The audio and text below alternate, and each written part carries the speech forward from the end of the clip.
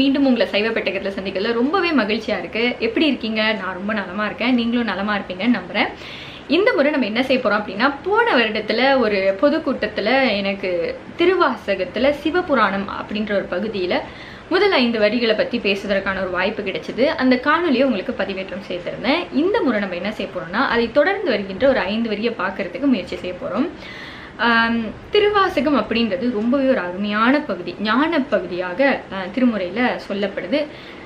எல்லா பாடலுமே ஞானப்பகுதி தான். அதில் திருவாசகத்தை நம்ம மணிவாசகரை ஞானத்துக்கே உரியவராக சொல்கிறோம் அதில் அவருடைய முதல் பதிகமாக இருக்கக்கூடிய சிவபுராணத்தை ரொம்ப ரொம்ப முக்கியமாக சொல்கிறோம் சிவபுராணம் அப்படின்னு சொன்னாலே நமக்கு தெரியும். அது இறைவனுடைய அனாதி முறைமையை பற்றி பேசுது அப்படின்றது நம்மள நம்ம எல்லாருக்குமே தெரிஞ்ச விஷயம் தான் அனாதி முறைமை அப்படின்றது என்னன்னா இறைவன் யார்? அவர் நமக்கு என்னெல்லாம் செய்கிறாரு உயிர்கள் பொருட்டு இறைவனோட முயற்சிகள் எல்லாம் என்ன? நம்ம எப்படி இறைவனை வணங்கலாம்? ஏன் வணங்கணும்? இதர் மாதிரி இறைவன் நமக்கு செய்யக்கூடிய செய்திகளை செய்யக்கூடிய உதவிகளை வந்து சொல்லக்கூடியதாக அமைப்பது சிவபுராணம்.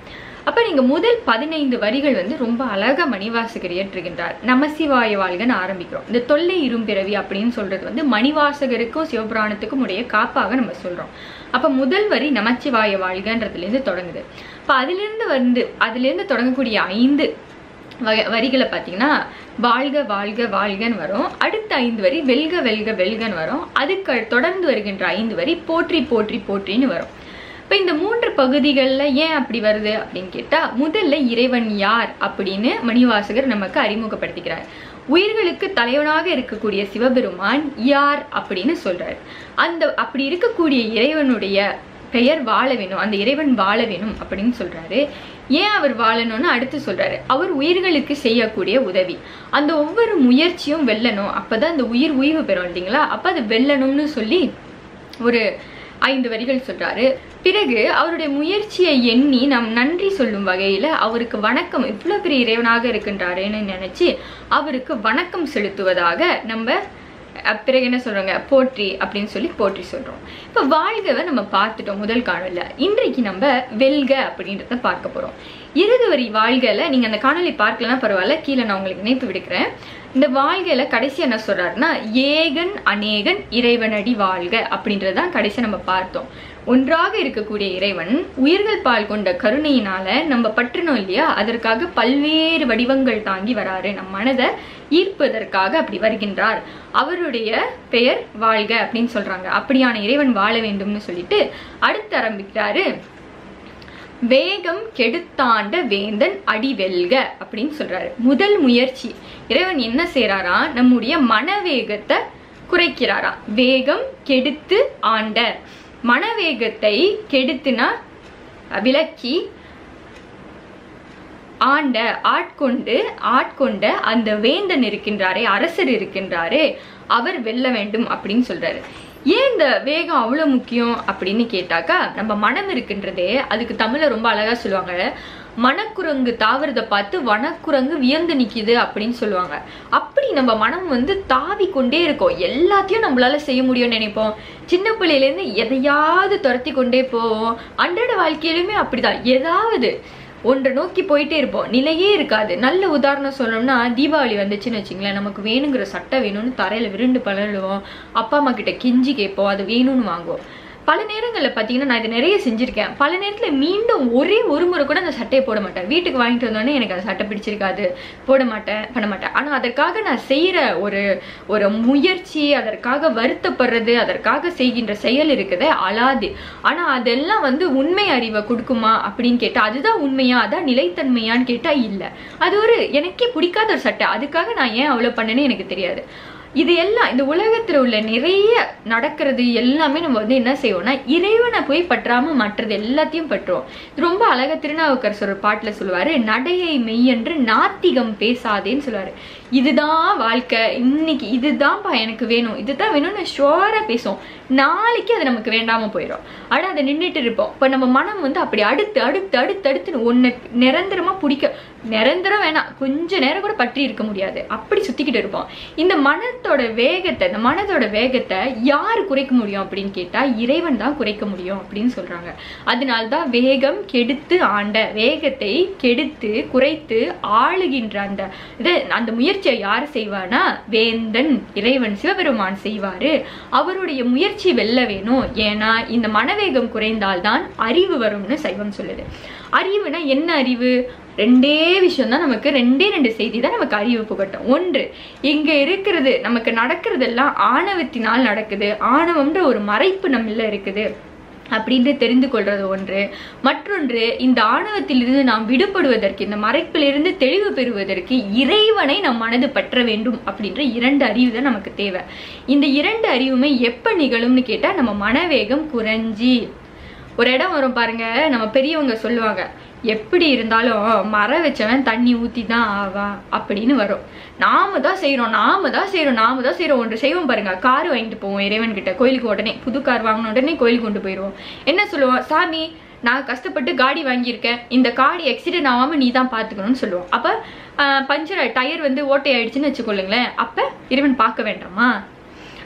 இப்போ காடி ஒரு இடத்துல நிறுத்திட்டு போறோம். வந்து பார்த்தா காரை காணும். அப்ப அதுக்கு இறைவன் உதவி தேவை இல்லையா ஏதோ இறைவன் நமக்கு எந்த உதவியுமே செய்யாத போல நம்ம முயற்சியில நம்ம இது சிறந்து செஞ்சிட்டது போல ஒரு சின்ன உதவி வேணும். அதாவது இந்த விபத்து மட்டும் நடந்துடக்கூடாதுன்ற அளவில் நம்ம இறைவனுக்கிட்ட பேசுவோம். பேசி ஒரு நான்கு சக்கரத்துலேயும் ஒரு எலுமிச்சை பழத்தை வைத்து ஏற்றிட்டு ஏதோ இறைவன் நமக்கு எல்லாம் செஞ்சிடணுன்றதுக்கு ஒரு பயங்கரமாக கடமைப்பட்டிருக்கிறது மாதிரி பேசிட்டு வருவோம்.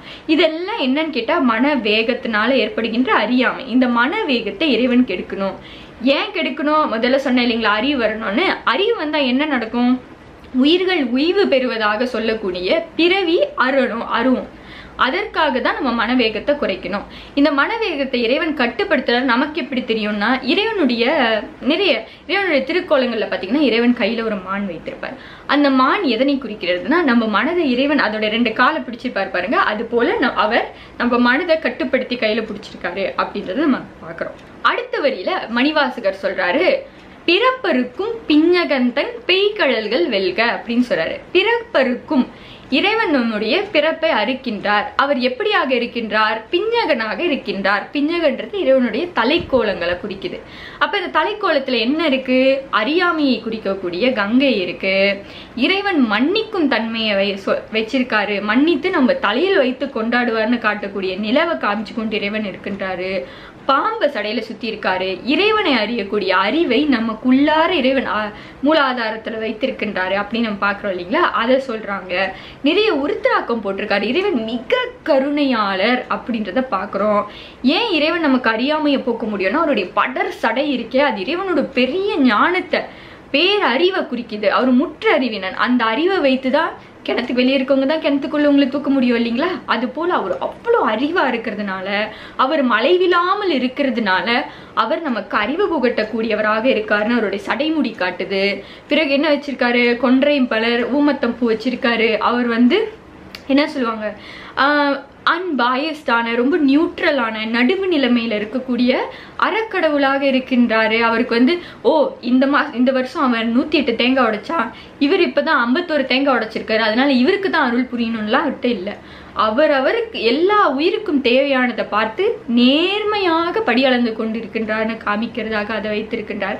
இப்படி தலையில மட்டுமே அவ்வளவு கோலங்களை வைத்திருக்கின்றார். அவருடைய பெய்கழல்கள் வெல்க பெய்கழல்கள் வெல்க அப்படின்னு சொல்றாங்க. அந்த பெய்கழல்னா வீரக்கழல்கள் வெல்ல வேண்டும்னு சொல்றாரு. இந்த பிறப்பு இருக்கிறதுன்றதே ஒரு பெரிய முயற்சி. அதை இறைவன் செய்யறாரு அது கண்டிப்பா வெற்றி பெற வேண்டும். வெற்றி பெற்றால்தான் எவ்வளவு எண்ணிலடங்காத உயிரினங்கள் இருக்கே அவ்வளவு உயிர் உய்வு பெறுவதற்கான வாய்ப்பு ஏற்படும் அப்படின்னு சொல்லி மணிவாசுகிறாங்க சொல்றாரு. அடுத்து சொல்றாரு மூன்று விஷயத்த சொல்றாரு. மூன்று செய்திகளை தொடர்ந்து சொல்றாரு. புறத்தார்க்கு சேயோந்தன் பூங்கழல்கள் வெல்கன்னு சொல்றாரு. இந்த புறத்தார் யாருன்னா இறைவன் இல்லைன்னு பேசிட்டு இருக்காங்களே இந்த நாத்திகர்கள். நாத்திகர்கள்ல ரெண்டு வகை இருக்காங்கங்க. ஒருத்தங்க வந்து பாத்தீங்கன்னா சாமியே இல்லைன்னு மேடை போட்டு பேசுவாங்க. சரிங்களா? இறை இலி கொள்கையில இருக்கிறவங்க. ஒரு சிலர் சாமி இருக்காரு ஆனாலும் நாத்திகரா இருப்பாங்க. சாமி கும்பிடுவாங்க நாத்திகமா இருப்பாங்க. அதான் ஒன்று முதல் சொல்ற. இறைவன் இல்லை அப்படின்னு இருக்கவங்க ஒரு புறம். அவங்கள பத்தி நான் ரொம்ப சொல்ல தேவையில்ல. இந்த இறைவன் இருக்குன்னு சொல்லி நாத்திகம் பண்றவங்க யாருன்னு கேட்டா முதல்ல நான் சொன்னேனே இந்த மனவேகத்தை துரத்தி கொண்டு போய் எல்லாமே தான் செய்யறேன்னு ஓடிக்கிட்டு இருக்காங்களே அவங்க. அவங்க இறைவனை போய் சார மாட்டாங்க. எதுவா இருந்தாலும் ஏன் முயற்சின்னு போவாங்க. நான் எல்லாத்தையும் திட்டமிட்டுட்டேன். இப்படித்தான் நடக்க போகுதுன்னு போவாங்க. கொஞ்சமும் அறிய மாட்டாங்க. இறைவன் வகுத்தான் வகுத்த வழி அல்லால் கோடி தொகுத்தார்க்கும் துய்த்தல் அறிதுன்றது அவங்களுக்கு தெரியாது. அப்ப இறைவன் என்ன செய்வாரா? அவர் அவங்களையும் அவர் தான் வழி நடத்துறாரு. ஆனா புறத்தாருக்கு சேயோனா இருப்பாரு தூரத்துல இருப்பாரு அப்படின்னு சொல்றாங்க. அப்ப வாழ்க்கையில நம்ம அனுபவம் பட்டு பட்டு பட்டு ஒரு நாள் நம்ம உணர்வோம். நம்ம முயற்சிக்கும் அப்பால் இறைவன் நின்று நமக்கு படி அளக்கிறாரு அப்படின்றத நமக்கு வேணுங்கிற அனுபவத்தை இறைவன் தான் தராரு அப்படின்ற அந்த இடத்துக்கு வருவோம். அது வரைக்கும் இறைவன் என்ன செய்வாருன்னா தூரத்திலிருந்து நமக்கு பக்குவம் ஏற்படுவதற்கான அந்த அனுபவங்களை கொடுப்பாரு. அந்த முயற்சி வெல்ல வேண்டும் அப்படின்னு சொல்றாரு. அப்புறம் சொல்லுவாரு கரங்குவிவார் உள்மகிழும் கோண்கடல்கள் வெல்கன்னு சொல்றாரு. இவங்க யாருன்னா நம்ம. ஃபிஃப்டி ஃபிஃப்டியாக இருப்பாங்க. இறைவன் தான் சொல்லுவாங்க தேவாரம் பாடுவோம். நானும் இதை தான் செய்கிறேன் கண்டிப்பாக அதை தான் செய்கிறேன் திருமுறை பாடுவேன். சிவபெருமான் இல்லைன்னா ஒன்றுமே இல்லை. சிவபெருமான் தான் எல்லாத்தையும் நடத்துறாரு அப்படின்னு சொல்லுவோம். ஆனால் திடீர்னு நல்லதாக நடக்கிறப்ப நம்ம என்ன ஒரு ஒரு நொடியில் இல்லை பல நேரத்தில் மகிழ்ச்சியாக இருப்போம். இறைவன் அப்படியே கொஞ்சம் கை விட்டுருவோம். தீயது நடந்துருச்சு ஏதோ ஒன்று நடந்துருச்சுன்னா இறைவன் தான் என்னை செலுத்தினாரு. அதனால தான் இப்படிலாம் நடந்துச்சு. இறைவன் தானே எல்லாத்தையும் நடத்தி வைக்கிறாருன்னு பேசுவோம். சாடுற மாதிரி சாருவோம் அப்பப்போ நவுந்துக்கோ அவங்க கரம் குவிவார்கள். இவங்களுக்கு இறைவன் வந்து உள் மகிழ்வாரு மகிழ்ச்சியா இருப்பாரு பார்த்து சிரிச்சுக்கிட்டே இருப்பாரு அப்படின்னு சொல்றாங்க. நமக்கும் இன்பமா உள்ளுக்கு இருப்பாரு இல்லைங்களா? அப்படின்னு சொல்றாங்க. அவருடைய அந்த கோன் கடல்கள் வெல்க அந்த கோன்னா அரசர். அவர் வெல்ல வெல் அவருடைய முயற்சி வெல்ல வேண்டும். கடைசியா சொல்றாரு சிறங்குவிவார் ஓங்குவிக்கும் சீரோன். சிறப்புடைய அந்த இறைவன் சிறங்குவிவார் இருக்கின்றாங்களே தலைக்கு மேல கை தூக்கி வணங்குதல் அப்படின்றது இறைவனிடத்திலேயே தன்னை சரணாகதி கொண்டுட்டவங்க. இறைவன்ட்டே சர எது நடந்தாலும் ஒரு பெரிய துன்பம் நடந்தாலும் ஒரு மிதமான அளவில் தான் உணர்வில் இருப்பாங்க. ரொம்ப மகிழ்ச்சியாக இருந்தாலும் இறைவா நன்றின்னு தான் சொல்லுவாங்க. எல்லாத்தையும் இறைவனை வைத்து அவங்க வாழ்க்கையை வாழ்ந்துட்டு போவாங்க முன்னிறுத்தி. இறைவன் சொல்றது படிதான் நடக்குதுன்னு நம்பி வாழ்வாங்க. இவங்கள இந்த சிறப்புடைய இறைவன் என்ன செய்வாரா? ஓங்குவிப்பார். அவங்களுடைய உயிர் பயணத்தை உய்வு பெறுவதற்கு அவங்கள மேன்மைப்படுத்தி ஓங்குவிப்பார். அப்படின்னு சொல்றாரு. அந்த முயற்சியும் வெல்ல வேண்டும். இது வந்து உயிர்களுடைய பக்குவ நிலையை பத்தி சொல்லலாம். ஒரு சில அதுதான் நான் முதல்ல சொன்னேன். ஒரு வகை உயிர்கள் வந்து இறைவன்டேந்து தள்ளி இருக்கும். ஒண்ணு வந்து சேர்ந்துரும். அடியார் கூட்டத்தோட சேர்ந்து அப்படியே இருக்கிற மாதிரி இருக்கும். தடுமாறிக்கிட்டு இருக்கும். ஆனா அது முயற்சி பண்ணி கொண்டு இருக்கும் இறைவனை தான் முன்னிறுத்தணும்னு தெரியும். ஆனா அது எப்படி முழுமையா செய்யறது அப்படின்ற இடத்துல இருக்கும் அந்த உயிருக்கு இறைவன் உள்ளுக்கு மகிழ்வாரு. முழுமையா சரணமட சரணடைஞ்சிட்டோம் முழுமையா இறைவன்கிட்டயே நம்ம போய் சார்ந்துட்டோம்னு சொன்னா பட்டு நம்மள ஓங்கு வச்சிருவாரு அப்படின்னு சொல்லி இந்த ஐந்து வரிகள் சொல்லுது. இதனை தொடர்ந்து பிறகு நம்ம வணக்கத்தை பத்தி பார்ப்போம். மீண்டும் உங்களை அடுத்த காணொலியில சிந்திக்கும் சந்திக்கும் வரை விடைபெறுகின்றேன். நன்றி வணக்கம். மேன்மைக்குள் சைவ நீதி விளங்குக உலகமெல்லாம். இன்பமே என்னாலும் துன்பமில்லை. பாய்